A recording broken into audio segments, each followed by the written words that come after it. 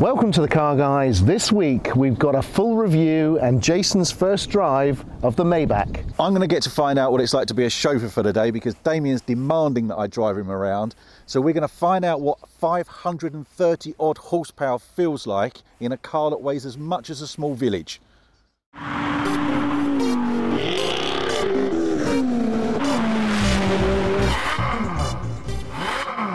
So Jason, here we are. This is the Maybach that I Maybach?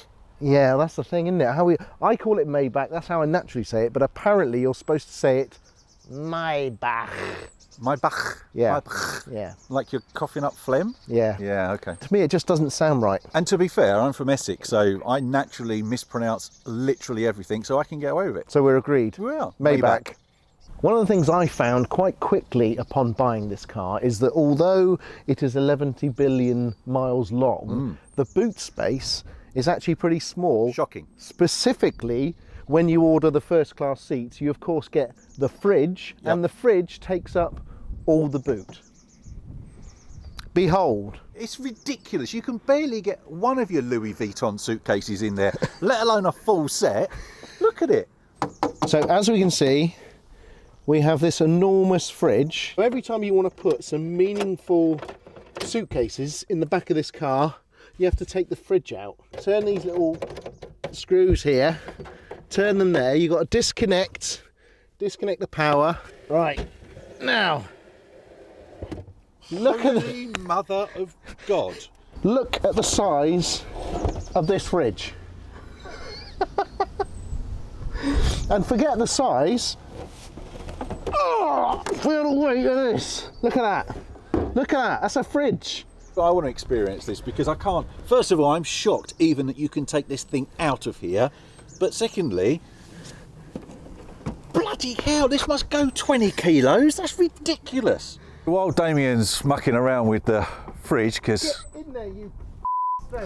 Awkward. Let's have a little walk around the cars and we can have a look at some of the features which I particularly like. So let's start with these absolutely stunning alloys. Now we talk a lot about these, but it's a bit difficult not to because they are just incredible. We have the Carl Benz signature down here at the bottom of the windscreen. Now that is class.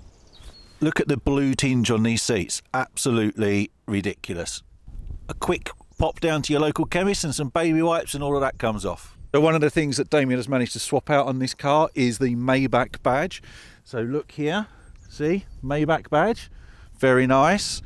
So yeah, first priority for me was to get rid of the Mercedes badge that was on the front of the car and replace it with the much cooler Maybach badge. So if I lift up the bonnet, I'll show you how easy it is. All you had to do really was use some pliers, turn this 90 degrees, so you can see here, you just have to turn that 90 degrees with a set of pliers, it pops out, stick the other one in there, 90 degree back again, and there it is. So it actually was the easiest job ever. And the Mercedes dealer completely lied to me when they said that the Maybach badge was a different size and you couldn't swap it round. Ha ha ha, yes you can.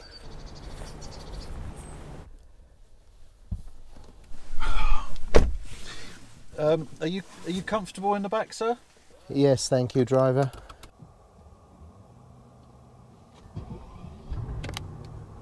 Right then, here we are.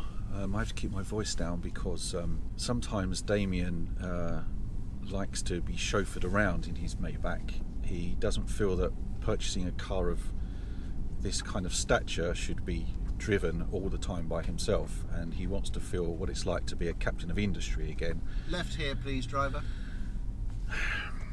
If you really need to be chauffeured and you don't want to, the stigma of a Rolls Royce, the next thing is the Maybach. Now, originally these cars were a standalone model, um, but then Mercedes incorporated them back into the brand. One thing I do know about this car though, it is absolutely enormous. Honestly, this thing is like driving a very large tanker through this tiny little Essex village. So let's talk about some stats. This car currently is running over 500 horsepower and 814 newton meters of torque. Now, what does that mean? Well, that means that it can hustle itself up to a national speed limit fairly quickly. But it has a couple of other tricks up its sleeve too. One of those tricks is that it has a sport button. Damian's having a lovely time in the back there, pretending he's something important again.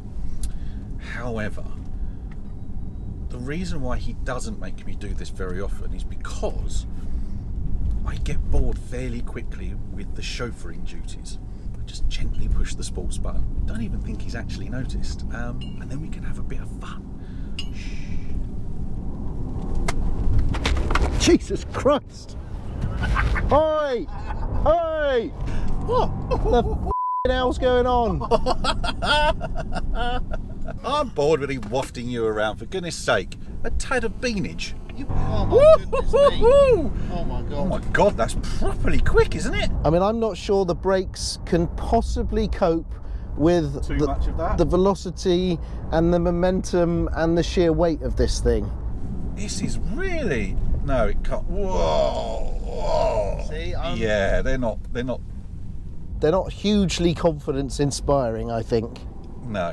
To be fair though, hustling around country lanes is not exactly what this car was designed for. I mean, it's it's not bad at it. It's not its natural habitat. Oh, oh! I properly dropped me sterling plated goblet. You maniac. Awkward. Let's take it out of sport, shall we? Let's go back into economy, or what is E then? What would E be? He is economy. It is economy. Yeah, yeah. Economy in a car like this. But I'll have you know, with economy, this car in theory will do 24 miles to the gallon. Really? Yep. What downhill with a wind behind it? Yep. Exactly. I've never achieved that, mind you, but in theory it's possible. So you have to remember this weighs 2.3 tons. It can accelerate 0 to 60 in 5 seconds. Five seconds for this car is astounding, and actually, it's it's quite a nice drive. How does it feel flexi wise when you go around the corners? Can you feel the length of the car? Oh, oh it feels massive. It, it feels like I've got a trailer, and uh, like I'm driving an Arctic lorry, really. To me, it's almost like having a bendy bus.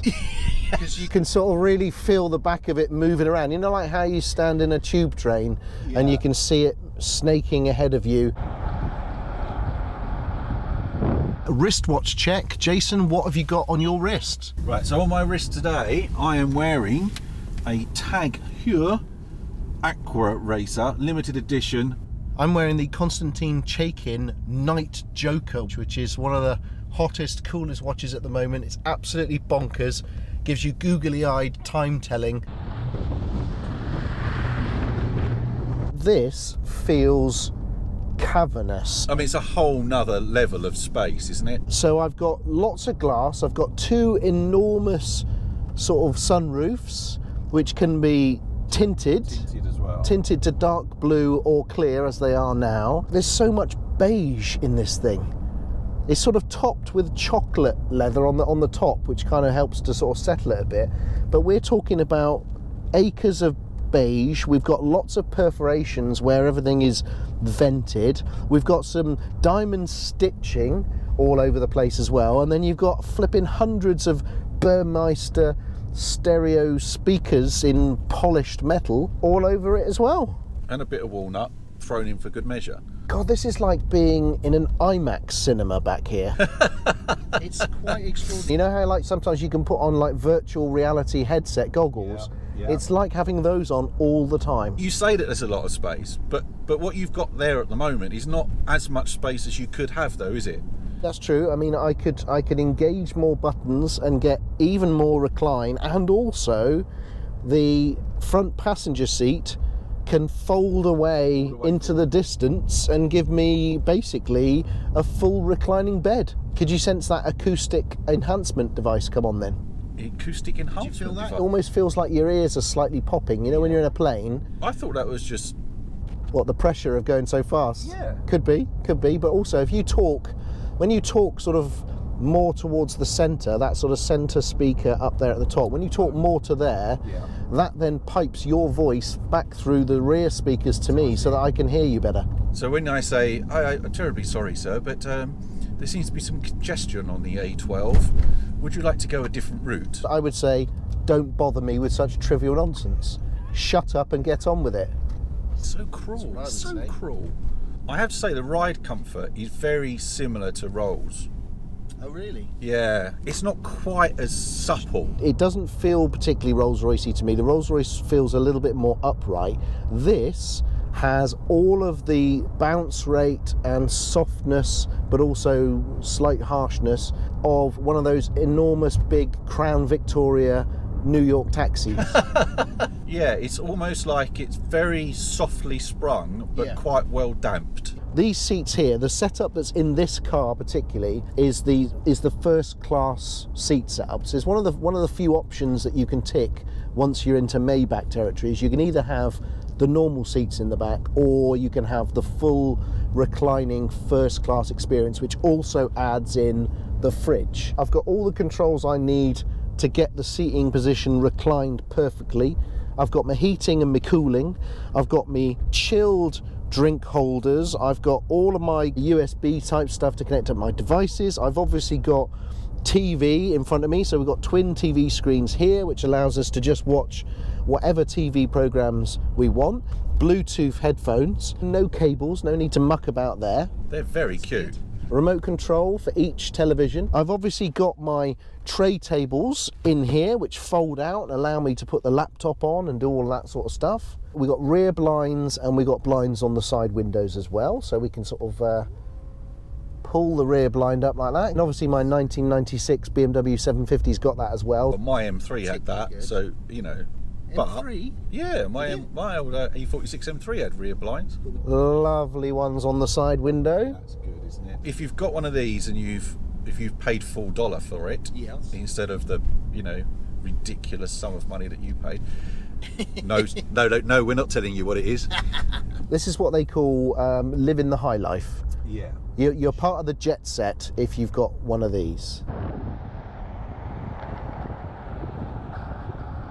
Hello, wake up. Oh, sorry, sorry. I'll tell you what, these cushions here, I mean, I'm not sure what these are made of, mink or something, but I don't think you're allowed to make things of mink anymore. this is more comfortable than my bed. I'm enjoying pointing the little pointy bit of the. Yeah, the little Masonic symbol. The other thing is that if you were to remove the Maybach badging off the rear of this and you were following it down the road, Yeah.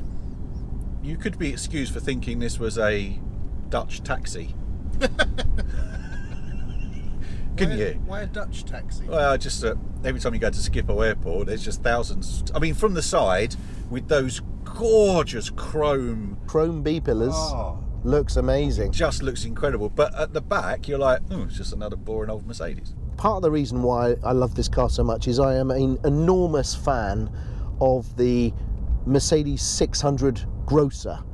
So if you remember, that was Dictator sort car of choice. Exactly, yeah. Idi Amin, probably Saddam Hussein, all the all the greats. That sort of slammed, hydraulic operated Mercedes, totally beautiful. Always had a soft spot for those. It's even it's obviously far more iconic and better looking than this. It was part of the reason why why I went for this as well. Is this is obviously the modern equivalent of that. Putin must have at least four. Oh God, yeah. I've driven this car at le- I think maybe three or four thousand miles already. One thing that stood out negatively is that those enormous low profile tyres do seem particularly susceptible to punctures. There was a pothole I hit that just immediately split the sidewall of one of the tyres. Another one's gone flat. Another one was all worn in a strange way. So I've had to replace already three of the tyres in this car. Three tyres. What was that? The cost of a small bungalow? They're not specially weighted for the car or produced specifically for the Maybach. They've got badging on them or something like that. not the ones I buy. Full yuck. So, what are your impressions? What do you think of it? It's not a car that I'm particularly interested in hustling. It, it, it is a lovely car to waft, but actually, because of all that torque and the very lovely Mercedes gearbox, you can very easily get into a nice rhythm with this. You know, you could do at least nine or ten hours straight in this, Yeah. get out the other side, you wouldn't even know that you'd done it. Sitting at 70 miles an hour, it's very relaxed, it's quite a calm place to be. Yep. I don't feel like I'm constantly trying to overtake people or or get it hustled around the next corner. I'm quite happy just to waft along and let time pass as it as it naturally does. I'm not overly keen on the walnut on the top of the steering wheel. Yeah, I know. We're not That's big bit- fans of the old sort of two-tone steering wheel. It's a bit old manny, isn't it? It is. I don't mind the beige. I thought, you know, it's not the colour that I would sort of normally necessarily go for, but I, the combination of the walnut and the beige, I don't mind that much. But you're right, Well- maybe steering wheel a bit too much. Steering wheel's too much. I mean, these seats stain badly enough from blue jeans anyway. Yeah. Could you imagine having white in here? That would just be Yeah. awful. Black be would be too dark. This is this is Learjet beige, isn't it? Gulfstream beige. You've got quite a lot of stuff up here for the driver as well. Yeah. I mean, the seats are heated and cooled And massage. and massaged. Yeah. You know, all of the really cool stuff that you'd like. I don't think I've got massage back here. Oh, really? I don't think so. Although there's probably another button hidden somewhere that you haven't actually pushed yet. All the dials are digital. It's absolutely nice place to sit. However, I've just noticed there are paddles on the back of this steering wheel. yes. No. Not yes. No. It's never even crossed my mind to press the paddles in this car. It is a good way of showing how smooth the gearbox is though, because I've just gone up three gears. Did you notice? Not at all. No. Did you really? yeah. Yeah, what? Look, it's a gear. I've just gone up a gear. No. No? There's, there's It's going back down a absolutely imperceptible. I'm going to go up, back up. No. no, not a thing. And another one. no. No. Down two. Slight. Very, very, very slight. Because I hit two at the same time. Yeah. So this is another 20 centimetres longer, or between the wheels, Yeah. than the longest Mercedes Yeah. that they produce. Which basically means we've got 20 more centimetres leg room here, which is why it's so massive. It's not lacking space. And I've had, I've had, I'm not, I was going to say I've had a load of big blokes in the back of here.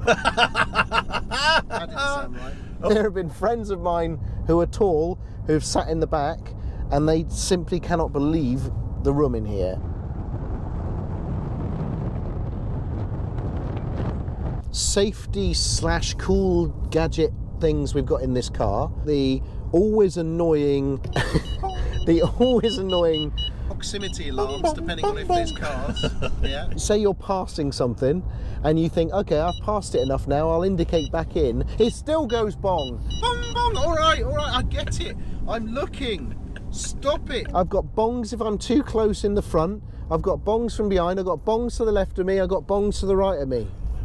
Stuck in the middle with you. So we got white line staying within white line gadgetry, which sort of makes yeah, takes the steering wheel. Yeah, that's really annoying. Hate that. Have to turn that off all the time because I do not like fighting cars. Radar assisted cruise control, which will keep a set distance away from the car in front and will also brake. If someone slams their brakes on or if it perceives that you're coming up on a car or object too quickly, it will brake. Isn't that the one that they they went to show off? Uh, Yes. So and then it didn't work. Yes, And it just went yeah, smash, smash straight into into the back of it. Yeah. that, exactly that. Yeah, not trusting that system then. No. No.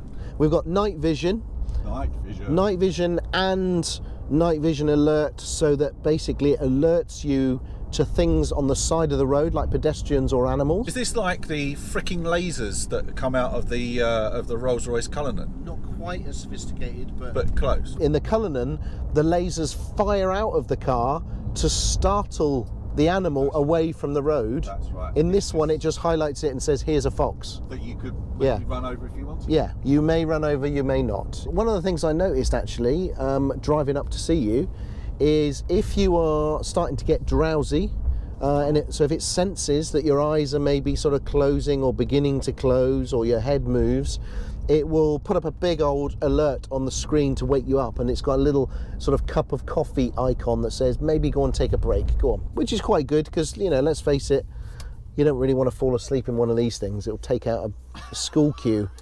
And the next thing you know, you've curbed those beautiful chrome alloys. Oh, which are so beautiful. I love them. They're like they're like sort of Sunday dinner plates. Oh, they're amazing. I love them. They're the type of wheels that the Queen would have a swan delivered on. oh, yes, that's right. Prince Philip, Philip, here's your swan. Oh, lovely. I've got a 360 degree camera button down here. Now, what does that give me? That's well, that's that's pretty good. I mean, again, a lot of cars now have got that, but that will give you the full, as if there was a, a camera mounted above the car showing you all the obstacles. But it does mean that even though the car is the length of Southend Pier, you can actually park it quite easily, which is quite surprising to most people. It does feel like I'm spending a lot of time at petrol stations. Oh, really? Yes. I'm very, very friendly with my local petroleum suppliers. Ah. So, if you were to fill this, how far do you think you could go in it? I mean, has it got a massive tank, or is it? It's a decent sized tank, but I think if you fill it up to the max, you're probably going to get about 350 to 380 miles range. Oh, so it's not huge then. It's not huge. Remember though, it is a can go with V12. six litre bi-turbo V12. It was not, I repeat, not developed to sip fuel. No. It was developed to burn it as quickly as possible in the name of refinement. Well, obviously, if you can afford a car like this, and you've probably owned one of these yachts as well, etc., etc., you're not really worried about the cost of fuel. That's not your concern. Another little special thing, actually, the uh, seat belts. You know, like the bit where you put your seatbelt into. Oh, yeah, yeah. They they light up. They're illuminated, so you can see where to put them. Oh, that's useful. And also to add to the first classness of these of these seats, Hmm.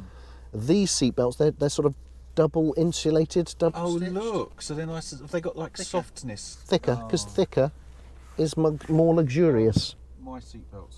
No, you've got peasant spec. So we parked up here in front of Canewdon Church. We've ran round it three times. The devil has not appeared, despite popular legend. You've now driven this car extensively, as have I. Uh, what do you think of it? Uh, as a driving machine, it's Wafty. Mm, wafty. It's quite it's quite compliant. The ride is very nice. It doesn't lull over in the corners like you might expect it to because it's a big limousine. This is definitely not and could never be considered in any way, shape, or form even a super saloon. It's not that. No. This car has been designed for one passenger only, and that's the one that sits behind the passenger seat in the back. Because that's the where the most legroom is, that's where all the buttons are, that's where all the fridge is. It's not designed for the people that sit up here. These are bodyguard and driver seats. Things we like the most about the Maybach absolute, unadulterated, unashamed luxury, yep, massive first class seats, yep, loads of tech and cool tech, yep. Mysterious Illuminati badging, a limitless power, seemingly. Seemingly so. V12, waftability, ride comfort. I love the speakers. Speaker system is incredible. It's high quality. The way that the sort of speakers emerge from the side of the car, that's really, really cool. Love that. But there is, I mean, I like I like music as much as the next man, but I can just sitting here I can see 12 speakers. We hate the fridge. When you're in here, right, it's perfect because you can use your lovely Yep. silver goblets to sip your champagne. But as soon as you want to put any luggage in it, Yeah. You're buggered. you're buggered, and the fridge is a horrible, hateful thing. Yeah, I have to say, I think the horrible, hateful aspect of the fridge outweighs the, oh, occasionally I want some champers. Yeah. The number of times you've got to hoik that bloody thing out of here in order to fit things in, it's a real pain. And then where do you put it? You, you know, you can't bring No, it with it's you. It's the size of a carry cot. It's Yeah. ridiculous. We hate the uh, tyre's susceptibility to puncture and ripping. We don't like the fact that it looks like uh, every other taxi cab in Schiphol Airport. That that is a problem. I mean, we are talking plastic There vents. is there is some plastic plastic ventage. vents, you see. To be I fair to wasn't going to Bentley, comment on that, but well, no, I mean, you know, we, we Yeah. highlighted that on Bentley We and did. Rolls Royce, and it's there is quite a lot of the, most of the buttons and everything in here are plastic. They're not metal. in here it's plastic. In the Rolls Royce, it's glass or metal. Don't like this silly walnut stuff on top of the steering wheel, but that is fairly minor. And I'm really scratching around to, for things that I don't like about it. As you'd expect, it's a big, luxurious Mercedes. It does that exceptionally, Exceptionally well. well. And it's got a cool badge, it's got a different image to it. There aren't that many of them. It's a bit more secretive, it's a bit more Illuminati, and that makes it interesting and therefore cool. For me, the Maybach badge on on this car is like having an Alpina badge on a BMW. It's just the extra icing on the cake. It's like I know I like these cars, but I know something that you don't. Thanks for watching this episode on the full review of the Maybach. Really hope you enjoyed it as much as we did. Don't forget to subscribe, leave comments because we read them all. Ding that notification bell, find us on Instagram, Facebook, and don't forget the website. There'll be another Car Guys episode along next week.